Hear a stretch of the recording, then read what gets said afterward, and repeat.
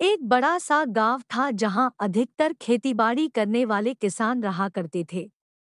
वहीं गाँव के पास ही घने जंगलों के बीच पीपल के पेड़ में एक भूत रहा करता था। भूत दिन भर तो गायब रहता, लेकिन रात होते ही वह गाँव वालों को खूब परेशान किया करता था। रात होते ही भूत पूरे गाँव के चक्कर काटने लगता और कभी किसी के पशुओं को नुकसान पहुंचाता तो किसी किसान को इतना डराता कि वो रात भर सो नहीं पाता। भूत के डर से शाम होते ही गाँव में सन्नाटा फैल जाता और रात को कोई भी घर से बाहर नहीं निकला करता था। एक बार भूत से परेशान गाँव के लोगों ने एक बहुत बड़े साधु को गाँव में बुलाया और उनसे अपनी समस्या का निदान करने के लिए गुजारिश की।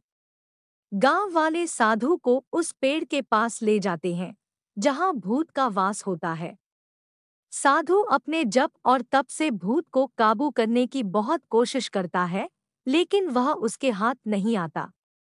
अंत में साधु भूत पर काबू पाने की युक्ति निकाल लेता है और सब गाँव वालों से कहता है कि ये भूत केवल रात के अंधेरे में निकलता है, जिसका अर्थ है कि इसे दिन की रोशनी से डर लगता है और रोशनी के सहारे ही भूत से छुटकारा पाया जा सकता है। साधु की बात सुनकर सभी गाँव वाले मिलकर एक योजना बनाते हैं। रात को जब भूत पेड़ से निकलकर गाँव में प्रवेश करता है तो किसान हाथों में मशाल लिए चारों ओर उजाला कर देते हैं। रोशनी को देखकर भूत डर जाता है और वापस पेड़ की ओर भाग जाता है। वहीं गाँव वाले भी उसके पीछे पीछे पेड़ के पास पहुँच जाते हैं।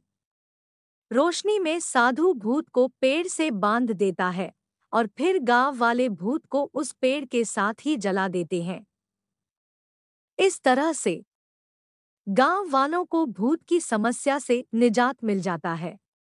दोस्तों, समस्या चाहे कैसी भी हो, अगर बुद्धि का प्रयोग किया जाए तो उससे निजात पाया जा सकता है।